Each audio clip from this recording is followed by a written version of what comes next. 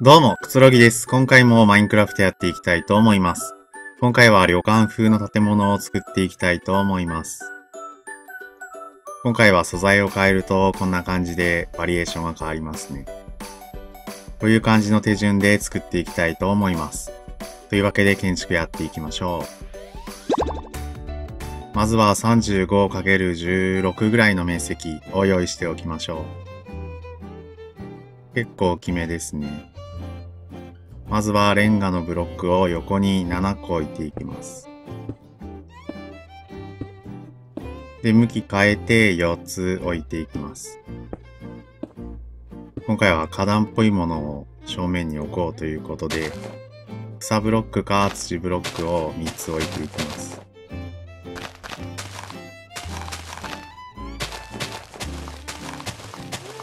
で、次は灰色のコンクリートを4つ並べていきます。まずは正面から作っていきますね。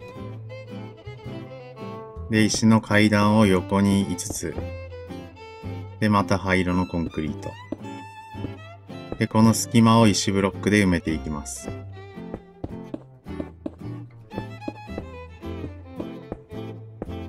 こんな感じですね。今度は石のハーフブロックを置いて、また灰色のコンクリート。で、また階段を5個。で、灰色のコンクリート。で、間は石ブロックで埋めていきます。まあ、同じパターンって言えば同じですね。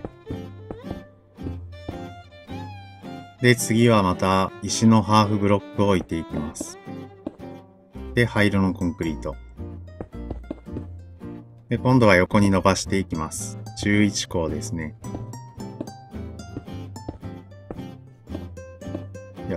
で、向き変えて3つ。で、今足した場所から横に5つ置いて、下とつなげます。で、また横伸ばしてつなげると。で、ここは花壇というか水入れようかなと思うので、石のハーフ、丸石のハーフブロック。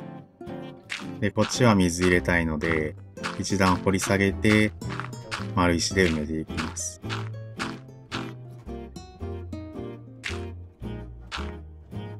プチ庭園風というか、まあちょっと雑ではあるんですが、そんな感じで。で、ここも見える部分ちゃ見える部分なので、まあ土だとあれかということで石と入れ替えます。丸石ですね。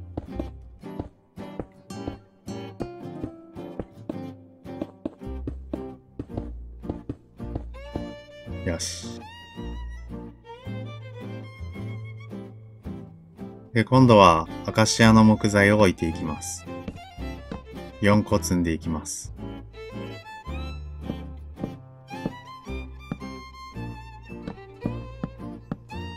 よし。こんな感じですね。で、奥側に灰色のコンクリートを置いて、奥行きというか、凹凸を入れていきます。反対側もですね。この柱の部分が中央の入り口エントランス風ということで。で、この角を取っていくような感じでアカシアを足していきます。で、もう一列灰色のコンクリートを並べて、ここも同じ高さまで置いていくと。こんな感じですね。で、こっち側も一列足して、で、角から同じ高さまで積んでいきます。4ブロックですね。で、ここも囲って壁を作ります。で、今度はこっち側は奥に凹凸入れたいので、1列足します。で、同じ高さ、4ブロックの高さまで積んでいきます。これも壁ですね。で、右側こんな感じなので、今度左側やっていきます。この灰色の部分から4個積んでいきます。で、隣にも4つ。こんな感じですね。で、また奥側に灰色のコンクリートを足していきます。で、向き変えて角を取ると。内側はアカシアの木材ですね。こんな感じですね。で、こっち側は壁じゃなくてガラスにしようと思うので、黒色のガラスを等間隔に置いていきます。で、間はガラス板。これで凹凸感を入れていこうかなということで、こんな感じですね。で、また土ブロック、草ブロックを足しておきます。で、角を取ると。灰色のコンクリートですね。まあ、とりあえず左はこんな感じで置いておきましょう。で、正面どんどんやっていきましょう。白色のコンクリートを1個突き出す感じで置いて、簡単な屋根風にしようかなということで伸ばしていきます。で、ここまででいいと。で、内側も2ブロック分2列足していきます。屋根の下の屋根みたいな感じです。今回は正面を頑張るぞ建築っていう感じですね。なので正面がでかくなっちゃったと。こんな感じで繋がりましたね。というわけで、この中央をやっていきます。よし。で、まずはこの角を取っていくということで、アカシアの木材を足していきます。こっちも木材ですね。で、下は石ブロックをつないでおきます。こんな感じで。で、今度は足した部分から、アカシアの階段を下向きで置いておきます。で、この手前を白色のコンクリートを削ると。で、裏から入って内側から旗を張ります。これでのれん風みたいな感じですね。まあ、遠目から見たらそう見えなくもないか、みたいな。まあ、お好みのデザインで、ということで。で、あとはアカシアのトラップドアを正面の、なんか格子状にしたいな、ということで、置いていきます。で、これシフトキーを押した方がありやすいと。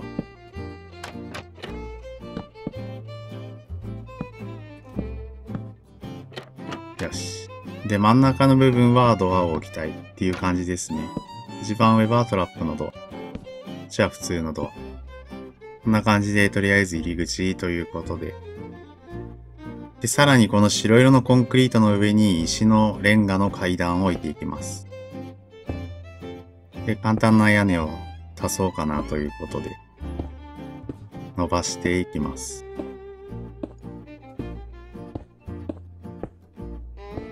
と正面だけ頑張るっていう感じですね。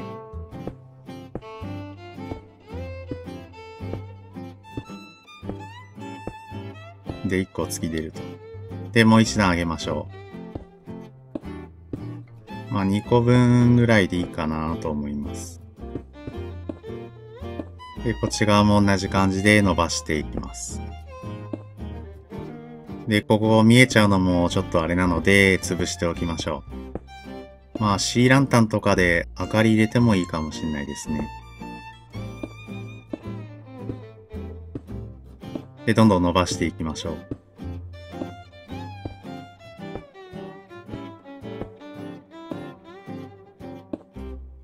う。よし。で、頂点はハーフブロック。石レンガのハーフブロック。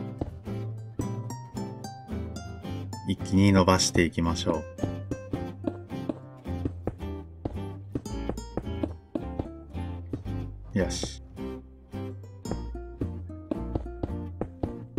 こんな感じですね。で、内側から屋根の角を折っていくと、こんな感じでどんどんやっていきましょう。よし。まあ、とりあえずこんな感じでやっていきますね。で、少しだけ足していきたいので、灰色のコンクリートを4つずつ積んで、左側を少しずつ伸ばしていきます。ちょうど草を生やした部分、草ブロックの部分まで伸ばしていきます。で、おおよそできてきたので、今度は上を増築していきたいなということで、この今立ってる灰色のコンクリートの上に2ブロックずつ同じ灰色を足していきます。で、反対側もですね。まあ、どうせこの一レンガの屋根で、間見えないので、まあ、資材の節約ということで、こっち側からでいいですね。で、今度はこの上にアカシアの木材を置いていきます。これはこの上にさらに壁というかブロックを置いていくので、これは伸ばした方がいいですね。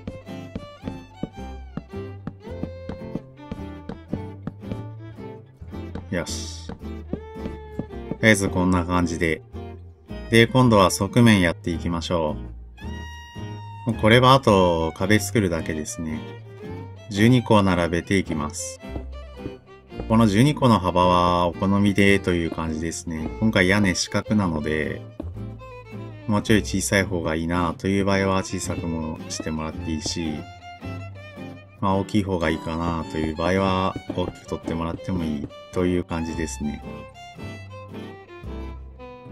で、あとは灰色のコンクリートで壁を作って埋めていきます。今回はこういう作業が多いですね。もう正面できたので、あとは全部同じでできますね。で、今度正面この部分やっぱり寂しいなということで、先に装飾ということで、アカシアの木材を上まで積んでいきます。よし。で、この一番上は階段を置いて、なんか柱かーんということで。で、側面じゃなくて背面やっていきましょう。背面も全部同じですね。今度は横に34個ですね。置いていきます。だいぶ横長なんですよね。まあ、どんどん並べて、まずは壁を作っていきます。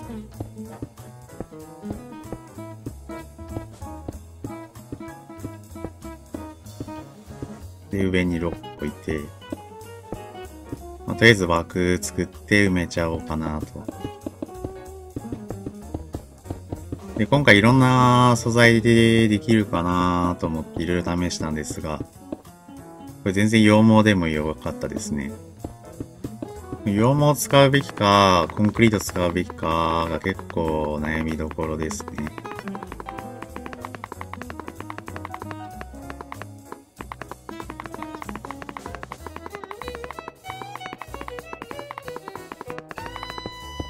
よし、終わりましたね。で、あとは残りの側面、こっち側とつなげていきます。横に12個を並べていきます。で、上に6個足して、とりあえず枠作って中埋めようかなということですね。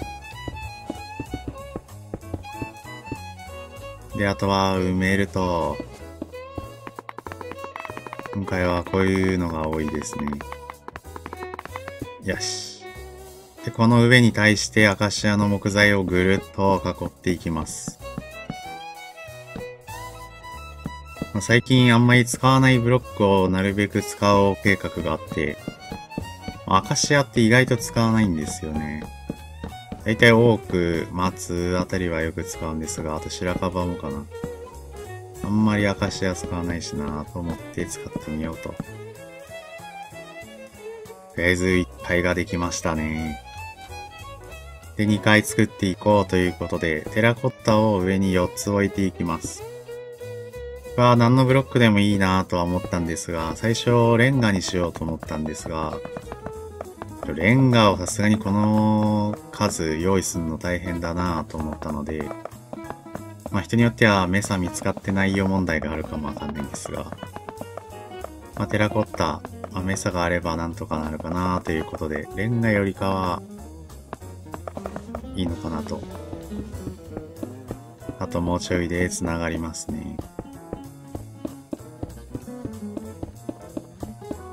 よし。予約できましたね。で、これが2階の部分ということで、ただ正面少し寂しいので、窓をつけていこうかなということで、4×2 のスペースを削っていきます。で、1マス開けて、4×2 削ると。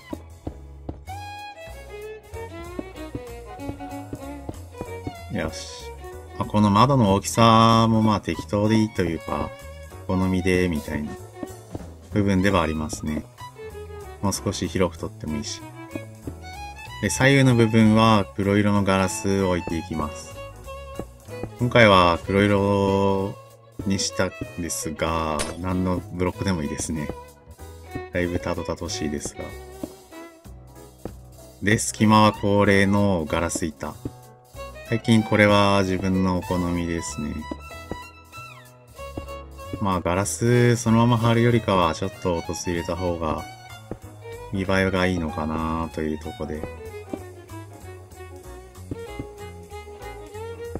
よし、こんな感じですね。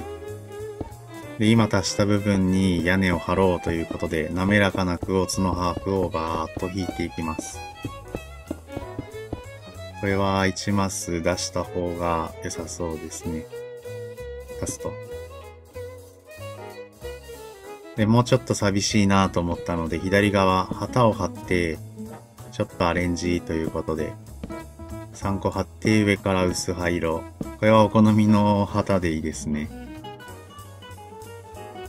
で、今度はテラコッタの上に灰色のコンクリートをまたぐるーっと一周していきます。今回はこういうぐるっととか壁をっていう作業が多いので、資材が結構かかるかなというところはあるんですが、今回はだから正面を背面にしてないんだよね。いつも正面と背面一緒なんだけど。今足した灰色のコンクリートに対して石レンガの階段を逆向きで貼っていきます。これをぐるーっとですね。今回はだから屋根は至ってシンプルに真四角で。前回が和風建築で、ちょっと屋根屋根感がすごかったので、真四角系やりたいなということで。で今置いた部分の上に下向きでレンガの階段を置いていきます。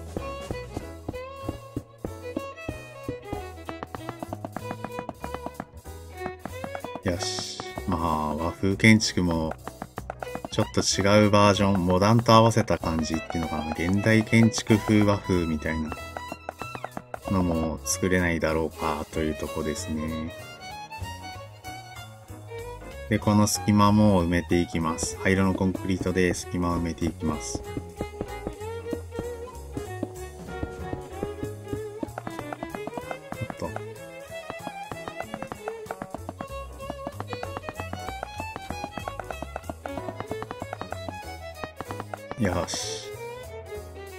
今度はこの足した部分に対して黒色のガラスを3つ置いていきます。で、1マスずつ開けて等間隔に同じ感じで並べていきます。ちょっと前までライブ配信をやっていたので、なんか、こうやって録画でやるとまた違うんですよね。まあ、ライブの方がやってないからあれなんだけど、ぱライブ配信はライブ配信で面白いけど、先にやっぱ作るものを考えてからやんないと、見る人にとっては大変だなというとこもあり、いろいろ反省の残るライブ配信でしたね。また次回も何かあればやりたいですね。というわけで埋まりました。で、間の隙間は白色のガラス板を貼っていきます。これで遠目から見たらなんか色入ってんなーみたいな。そんな感じでやっていきます。なんか色が入ってた方が楽しいというかいいのかなというとこで。あ、貼るの大変なんだよな。ガラス板はほんと大変。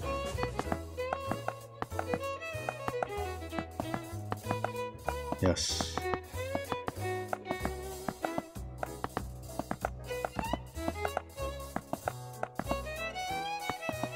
ちょっとですね。これでよしと。だいぶ模様が入りましたね。で今置いたガラスの上に灰色のコンクリートをまたぐるっと置いていきます。よし。ラストスパートですね。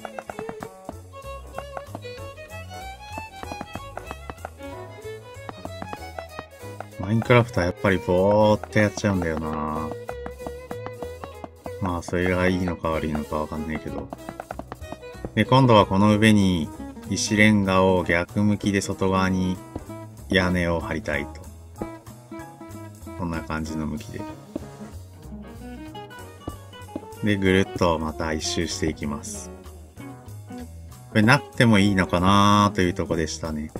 違う色のパターンで何個か試したときに、普通にハーフブロック並べたのもいいのかなというとこで、この辺はお好みでという感じですね。せっかくなら最近自分が作った建築に違う素材にした方が面白いのかなというのもあって、違う配色にした場合はこんな感じだよみたいなのも合わせて紹介するのもいいかということで、なるべく3パターン用意できたらなと。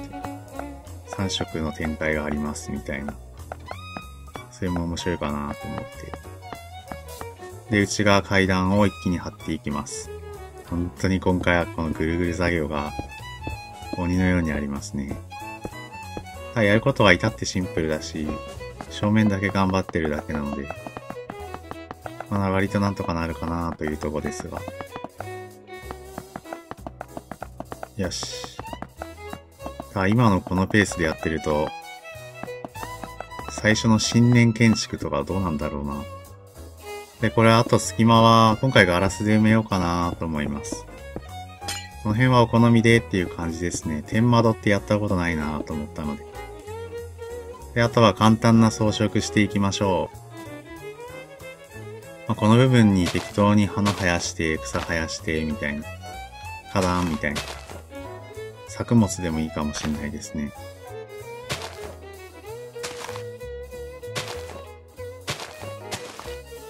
まあ、こんな感じで、もうちょい。で、外側は鉄格子で描こうかなと思います。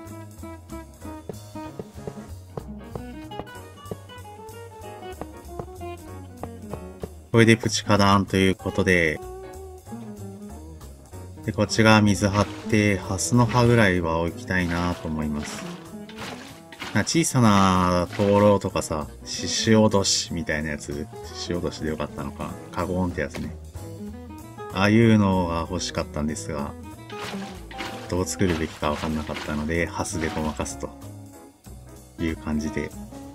で、あとは絵画をボーンと。で、1マス横に足しましたね。もうちょい置きたかったので。というわけでこんな感じで仕上がりました。今回旅館風、旅館なのかわかんないんですが、こんな感じで仕上がりました。ご視聴ありがとうございました。チャンネル登録、高評価、コメント、リクエストもあればよろしくお願いします。次回も建築動画上げていきたいと思います。ではまた。